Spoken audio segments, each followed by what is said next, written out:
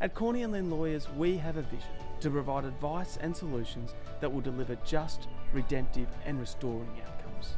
Each of our lawyers believes in the call on their lives to contribute to the fabric of this world through strategic counsel, courageous advocacy, and clear documentation.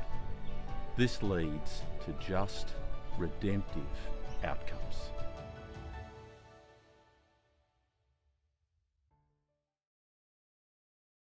Good afternoon and welcome to today's webinar on why you need a trademark to protect your business name or company name.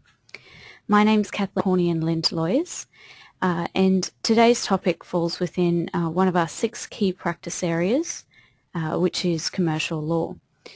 Uh, as I got into the content it became apparent that this may go for more than half an hour and it, it's likely to go for around 40 minutes.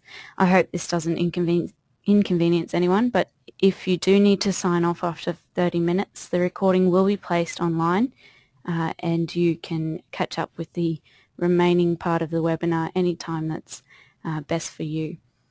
So uh, within the commercial law area, we have advised many small, medium and large-sized businesses in relation to a wide range of matters that includes these discrete matters such as protecting intellectual property and uh, larger scale transactions such as business acquisitions and disposals, as well as land licensing, leases and sales. But we do have a number of other key areas which you can see on the slide there. Um, they include schools and education, not-for-profit and charity, uh, commercial as we've discussed, employment law and discrimination, family law, and estate and elder law, which covers a wide range of areas such as wills, enduring powers of attorney, retirement village entry, and aged care packaging. Um, a, note that a uh, question has been asked already. Um, that's wonderful. We do want this to be interactive. Um, I will uh, put them off to the end of the webinar though, just to uh, just in case your question is answered throughout the process. So um, please feel free to type them in at any stage though. So firstly, uh, we're considering why is a registered business name not enough? Um, I think the first thing to consider here is why do you need a registered business name? It is a Commonwealth legislative requirement that any person, partnership or entity that's operating a business or a trade in Australia must register a business name. That's on a national business register, a business names register, sorry, that's maintained by ASIC. Um, some exceptions to this do apply uh, although if you are operating as an individual using your first and last name or if you already have a registered company name, but we'll get on to that. Um, it is a fact that entities are no longer entitled to operate under unregistered trading names. Um, it is an offence, so it is a requirement set out. But it's not a protective measure.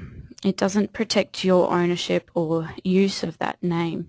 Um, and as you can see on the slide, the Business Names Registration Act sets out in section 22 that the purpose of the register is to enable those who engage or propose to engage with the business carried on under a business name to identify the entity carrying on the business and how the entity may be contacted.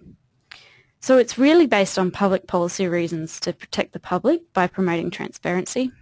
So consumers have the ability to know who's behind the name.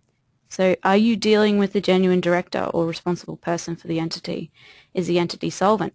And there's a number of other matters that you might want to determine by conducting proper searches. Um, so in light of this regulatory requirement, I guess it, it's really, as, as the slide points out, it's not about protecting your rights at all. It's a common misconception with business names. However, it can be said that um, obviously to have certainty for consumers, you need to ensure that other entities can't register identical names, uh, or ASIC will ensure that identical names aren't registered. Um, so there's some administrative protective there, protection, uh, but it, it does not extend to similar names. So um, identical names are out, but similar names um, can be registered. Uh, for that matter, you will need to be sure that a name that you want to use is available, which can be checked online. Um, there's a link there on the slide. The slides will be made available online on our website afterwards as well. Um, so to check that name availability is important. Um, another issue with a registered business name is that it won't guard you, it won't provide immunity uh, for you from infringing the rights of other traders. So ASIC will not notify you when you register a business name that it is substantially identical or uh, deceptively similar to a registered trademark. Um, and because you are able to re register similar business names, there's no guarantee that in registering yours, you're not infringing a registered trademark. So you need to consider whether your business name infringes another entity's rights before you register your business name. And in the best case scenario, before you've established an identity or goodwill around that business name. It can be an expensive process if you need to go through rebranding after finding out that you're infringing someone else's rights.